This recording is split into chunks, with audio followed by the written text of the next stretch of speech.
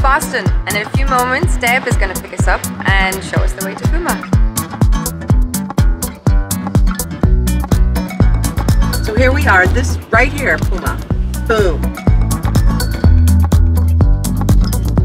I work at Puma. I'm an executive assistant for the head of footwear internationally. We're currently in her office, which I take over when she's traveling, and she's traveling.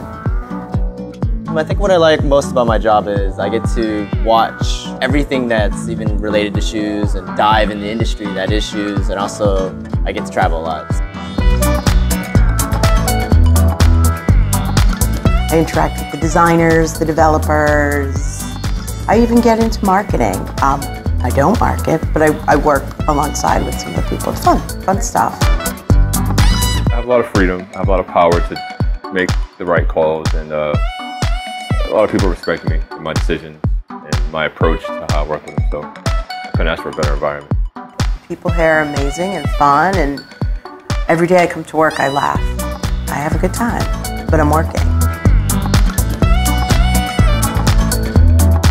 I'm probably like the mother of the group. I'm one of the oldest people here, and uh, but I feel very young working with all these kids, so it's awesome.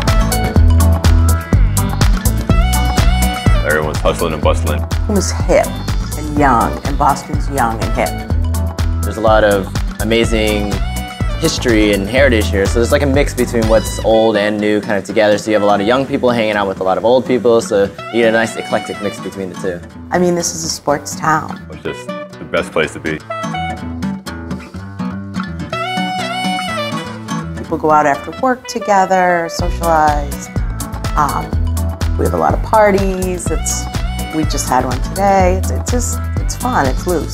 It's light.